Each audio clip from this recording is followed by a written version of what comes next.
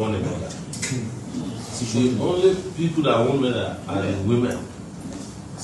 When they come now, the first people that they were allowed to shake the president would be men who did not win a simple word for them. Even the women, they may not even shake them because they say the president doesn't shake women.